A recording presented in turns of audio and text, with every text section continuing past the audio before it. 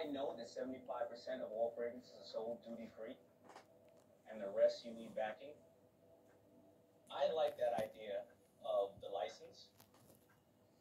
So, I'll give you the hundred thousand dollars for eighty percent. Eighty percent is, is quite high.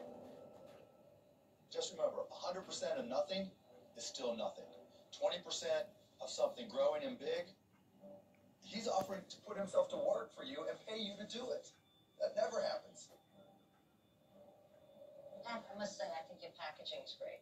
Thank you. Perfect. Really know what money smells like. It's subtle. This is not subtle. Even though you look like Robert Redford.